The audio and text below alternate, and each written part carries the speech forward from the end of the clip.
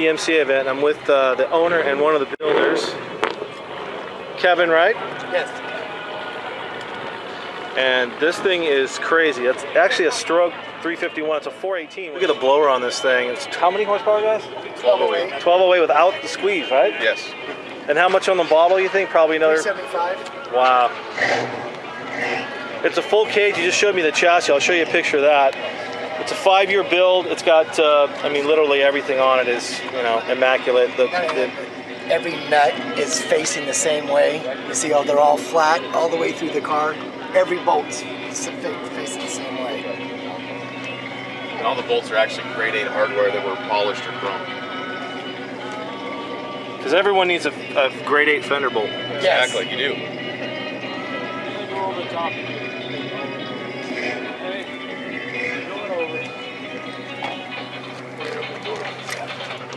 It's got a billet steering wheel, like a custom. You can see the roll cage goes through. It's a full cage. And of course, the bottom looks as nice as the top.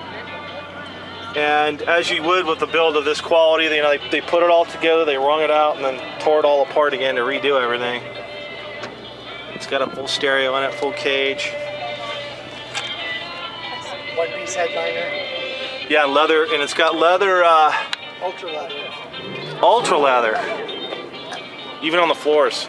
So cool. Fully tubbed wheelie bars. Even the wheelie bars You are fully see- chrome. You got a picture of the rear underneath. Yep.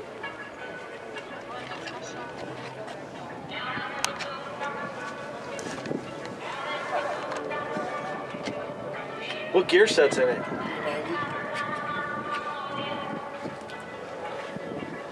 What size of the those tires in the back or what? Uh, I think they're 28 inches wide. There's Wow. 43 inches of tire in the back. How I mean, how streetable is it? Have you ever? Very streetable. Is it really? Yes. It's got French tip bumpers. Those always look better when they're done that way. Look at the exhaust. Is it three and a half? Four. Four inch. Wow. Custom exhaust is two inch frame. Two, it's actually Chevy big block tubes on, on the headers. On the outside of the frame, custom built.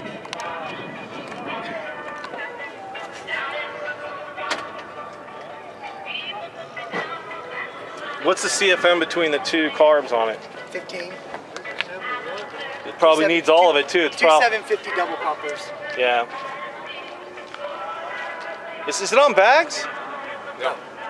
So that's just the stance. Yes. That's how it stands. So it's just dro- it's a drop spindle, uh, basically. The inside's completely quiet as well. We actually did a spray in bed liner on the whole inside, and then we covered it with hush mat on the floor, the headliners, the inside the doors, the pillars, anywhere that could be reached, we got hush mat in there. All the electronics are up in the dash. Glove box, I'm sorry. Set up, pretty shut off switches, everything. And What's the trans? C4, it's a Hughes billet C4 manual forward body with a one inch bell scatter shield. 3800 stall. Can we hear it? Oh yeah, Sure. It'd be a shame to show such a beautiful thing off and not be able to hear it.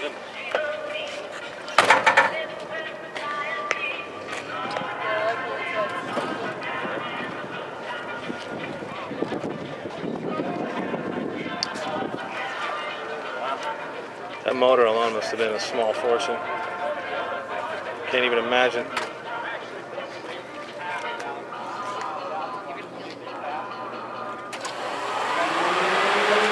Fans were coming on.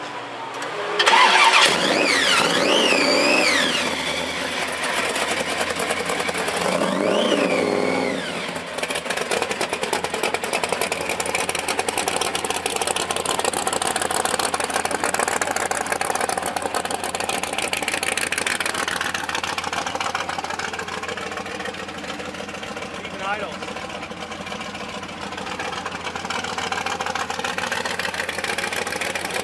Even idles good.